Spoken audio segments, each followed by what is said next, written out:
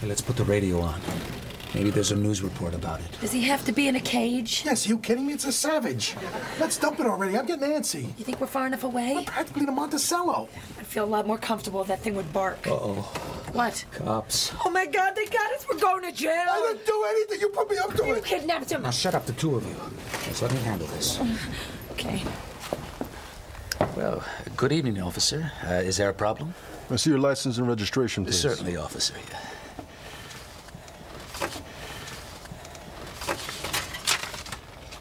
Okay. Well, it's a it's a fine evening, isn't it? Is this is a rented vehicle, sir? Uh, yes, yes, that's right. We're here to pick up some wood. Yeah, winter's coming soon, and we've got ourselves a little place out in Chesterton. Where's Chesterton? Well, it's, it's a ways away. I thought that was in Maryland. Uh, well, that's true, Officer Briscoe, but uh, we like to get our wood here. It's uh, a particular kind of wood that's uh, endemic uh, to this area. What's wrong with your dog? Oh, it's our dog. Believe me, officer. Who said we weren't allowed to have a dog? I'm allowed to have a dog. Who said I wasn't? Excuse me, officer. Are we through? Oh, yeah. As soon as I write this ticket.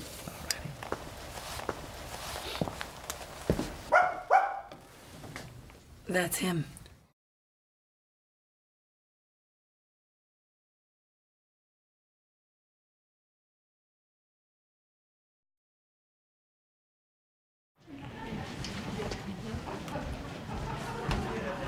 Hey, busy man. Hey, come on in. Oh, what an office, man. Right in the stadium. Yeah, it's a really nice office, uh, Georgie. Thanks, thanks. Sal, you ready for your tour? What? What is it? Voodoo. Oh, no, no, no, no, no. This is a little stress doll. It's a present from my boss. Very bad. Oh, no, no, no, no. It's a fun little toy. You see, you squeeze it. No, stop it, stop it. It is not a toy. No. What? What the hell did you do that for? What is this? That's what makes it squishy. At least it used to. This is not voodoo. I know it's not voodoo. George, I'm very sorry. I I will get you a new doll. Oh, George, uh, just thought I'd check in on you. Uh, okay, we'll meet you outside, George. Yeah, very busy. Busy as usual.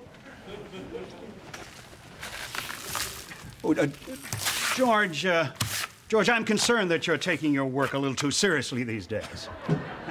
Well, I got a lot to do. No, no, no. I'll tell you what I want you to do. I want you to just drop everything. I have this fun little assignment I think you'll enjoy. There are some reps in from the Houston Astros who are talking about interleague play, and I want you to take them out and show them a great time, George.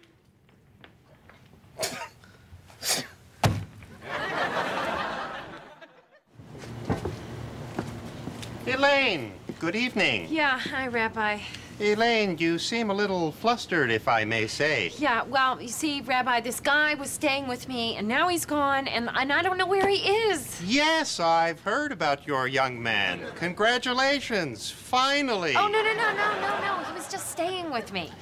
Of course, an interracial relationship poses many challenges, but if you truly love each other, you can overcome them. The people I've spoken to are all very supportive of you. Unfortunately, the response is mixed concerning the bastard child in 2B.